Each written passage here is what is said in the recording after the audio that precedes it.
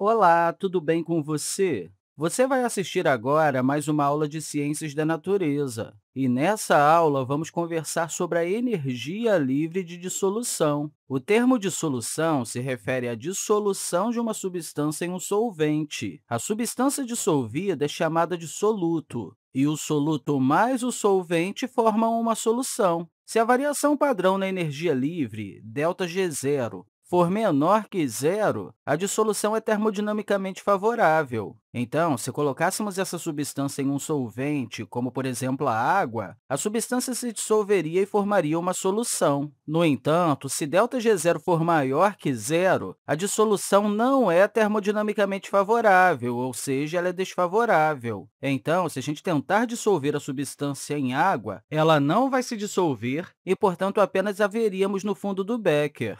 Como estamos falando sobre potencialmente fazer uma solução, às vezes você vê um subscrito SON escrito ao lado de ΔG0. Então, isso seria ΔG0 de solução, que também poderíamos chamar isso aqui de energia livre de dissolução. Podemos calcular o ΔG0 de solução pegando a variação padrão da entalpia de solução e, disso, subtrair o produto entre a temperatura absoluta e a variação padrão na entropia de solução. Então, vamos ver com mais detalhes o que determina os sinais para ΔH0 e ΔS0. Podemos pensar na dissolução de um sólido em três passos hipotéticos. O primeiro passo envolve quebrar o sólido. Vamos pensar na variação de entalpia ΔH1 para esse primeiro passo. Os sólidos são mantidos juntos por forças atrativas. Por exemplo, se tivéssemos um sólido iônico, seriam ligações iônicas ou interações eletrostáticas unindo as cargas opostas. Então, se o nosso objetivo é separar ou quebrar o sólido, seria preciso energia para superar essas forças atrativas. Portanto, ΔH1 seria positivo. Agora, vamos pensar sobre a variação da entropia, ΔS1, para esse primeiro passo. Quando o sólido é quebrado, as partículas têm um número maior de posições possíveis, e um número maior de posições possíveis significa um aumento no número de microestados possíveis. Um aumento no número de microestados significa um aumento na entropia. Portanto, quebrar o sólido significa um aumento na entropia, e, com isso, ΔS1 será positivo. O segundo passo é a preparação do solvente para receber o soluto. Vamos pensar na variação de entalpia para essa segunda etapa. As partículas de solvente são mantidas juntas por forças intermoleculares. Para moléculas de água, a força intermolecular mais importante é a ligação de hidrogênio. O objetivo dessa segunda etapa teórica é separar as partículas de solvente e afastá-las umas das outras para que haja espaço suficiente para encaixar uma partícula de soluto. Como é preciso energia para vencer as forças intermoleculares que mantêm as partículas do solvente juntas, ΔH2 é positivo. Agora, vamos pensar sobre a variação da entropia ΔS2 para essa segunda etapa. Quando as moléculas de água são separadas, há um aumento no número de posições possíveis das moléculas de água. Como no primeiro passo, quando temos um aumento no número de posições possíveis, temos um aumento no número de microestados. Um aumento no número de microestados significa um aumento na entropia. Portanto, ΔS2 é positivo. Chegamos à terceira etapa agora, que é chamada de solvatação, e que se refere à interação do soluto com o solvente. Para isso, imagine que há uma força atrativa entre essa partícula branca de soluto e essas quatro partículas azuis de solvente. Se o solvente for água, esse processo é chamado de hidratação. E se pensarmos, digamos, em um cátion positivo interagindo com a água, já que cargas opostas se atraem, o cátion positivo é atraído para a extremidade negativa da molécula de água. Como temos um íon carregado positivamente interagindo com a água, que é uma molécula polar com um momento de dipolo, esse tipo de interação é chamado de interação íon-dipolo. Vamos pensar na variação de entalpia para essa terceira etapa.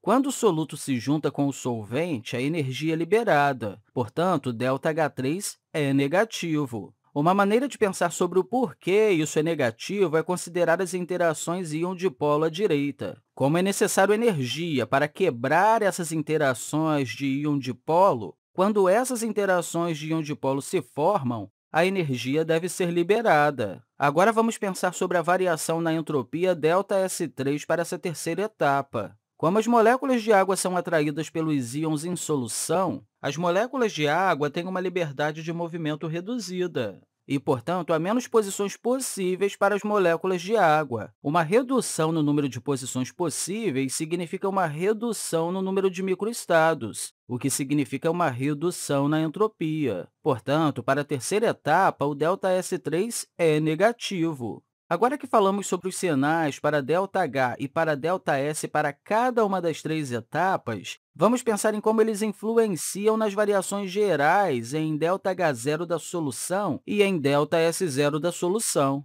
Vamos começar aqui com ΔH0 da solução, que é igual à soma das variações de entalpias para as três etapas. Ou seja, isso aqui é igual a ΔH1 mais ΔH2 mais ΔH3. Já vimos que ΔH1 é positivo, que ΔH2 é positivo e que ΔH3 é negativo. Então, somando ΔH1 com ΔH2, teremos um valor positivo. Como nós estamos adicionando o negativo no ΔH3, é a magnitude do ΔH3 que determina se o ΔH0 geral da solução é positivo ou negativo. Se a magnitude de ΔH1 mais ΔH2 for maior que a magnitude de ΔH3, ΔH0 da solução será positivo. No entanto, se a magnitude de ΔH3 for maior que a magnitude de ΔH1 mais ΔH2, ΔH0 da solução será negativo. Portanto, é possível que ΔH0 da solução seja positivo ou negativo, dependendo da substância que está sendo dissolvida. Um exemplo de uma substância que tem um valor positivo para o ΔH0 da solução é o cloreto de sódio. A 25 graus Celsius, ΔH0 de solução para o cloreto de sódio é 3,9 kJ por mol de reação. Um exemplo de uma substância que tem um valor negativo para o ΔH0 de solução é o cloreto de magnésio. A 25 graus Celsius, ΔH0 de solução do cloreto de magnésio é igual a menos 160 kJ por mol de reação. A principal razão pela qual essas duas substâncias têm entalpias de solução tão diferentes tem a ver com a terceira etapa ou seja, com o valor de ΔH3. Vamos dar uma olhada em alguns diagramas que mostram a interação íon-dipolo do cátion de ambas as substâncias em solução aquosa interagindo com moléculas de água. Para o cloreto de sódio, teríamos um cátion sódio em solução com carga 1+. Já para o cloreto de magnésio, seria um cátion Mg2+, interagindo com as moléculas de água. Como o cátion magnésio 2+, tem uma carga maior que o cátion sódio, o cátion magnésio 2+, exerce uma força elétrica maior nas moléculas de água. Devido ao fato do cátion magnésio 2+, exercer uma força elétrica maior sobre as moléculas de água, mais energia é liberada quando o cátion magnésio 2+, é hidratado, em comparação com quando o cátion sódio 1+, é hidratado. Uma vez que mais energia é liberada na terceira etapa para a hidratação do cátion magnésio 2+, isso é suficiente para tornar o ΔH0 de solução negativo. Portanto, a dissolução do cloreto de magnésio é um processo exotérmico. Para o cloreto de sódio, quando o cátion sódio é hidratado, não é liberado tanta energia assim. Portanto, o ΔH0 total da solução é positivo e a dissolução do cloreto de sódio é um processo endotérmico. Agora, vamos pensar no ΔS0 de solução. ΔS0 de solução é igual a ΔS1 mais ΔS2 mais ΔS3. O ΔS1, que é a variação na entropia para o primeiro passo, é positivo, conforme já vimos. O ΔS2 também é positivo, mas o ΔS3 é negativo. Portanto, assim como vimos para o ΔH0, o sinal para o ΔS0 depende da magnitude do ΔS1 mais o ΔS2 comparado à magnitude do ΔS3. Se ΔS1 mais ΔS2 for maior em magnitude que o ΔS3, ΔS0 de solução será positivo. No entanto, se a magnitude do ΔS3 for maior que a magnitude do ΔS1 mais o ΔS2, o ΔS0 de solução será negativo. Um exemplo de uma substância que tem um valor positivo para o ΔS0 de solução é o cloreto de sódio. A 25 graus Celsius, ΔS0 de solução é igual a 43,4 joules por Kelvin mol de reação. Um exemplo de uma substância que tem um valor negativo para o ΔS0 de solução é o cloreto de magnésio. A 25 graus Celsius, ΔS0 de solução é igual a menos 114,7 joules por Kelvin mol de reação. A principal razão para a diferença de entropias para essas duas substâncias tem a ver com a terceira etapa, ou seja, com a magnitude do ΔS3. Mais uma vez, vamos dar uma olhada aqui nos diagramas que mostram a hidratação dos cátions em solução aquosa. Já falamos que o cátion de magnésio 2+, tem uma força eletrostática maior sobre as moléculas de água circundantes do que o cátion de sódio 1+. Aplicar uma força elétrica mais intensa significa uma redução da liberdade de movimento das moléculas de água ao redor do cátion magnésio 2+. E uma redução da liberdade de movimento significa uma redução do número de microestados possíveis. Assim, a hidratação do cátion magnésio 2+, leva a uma maior redução da entropia para a etapa 3, que inclusive supera os valores positivos para as etapas 1 e 2. Isso faz com que a gente tenha um valor geral negativo para o ΔS0 de solução. Portanto, dissolver cloreto de magnésio em água resulta em uma redução na entropia. Como o cátion sódio tem uma atração eletrostática menos intensa para as moléculas de água, a redução da entropia não é muito grande E, portanto, a magnitude do terceiro termo não supera a magnitude dos dois primeiros termos, o que significa que o ΔS0 geral de solução é positivo. Assim, ao dissolver o cloreto de sódio na água, teremos um aumento na entropia. Acabamos de ver ΔH0 de solução e ΔS0 de solução para dois sais, o cloreto de sódio e o cloreto de magnésio. Feito isso, vamos calcular agora o ΔG0 de solução para ambos os sais a 25 graus Celsius. Vamos começar com a dissolução do cloreto de sódio sólido em água para formar cátions sódio e ânions cloreto. 25 graus Celsius é 298 Kelvin, então podemos colocar isso aqui em nossa equação. E também podemos substituir os valores para ΔH0 e ΔS0. Ambos foram valores positivos para a dissolução do cloreto de sódio.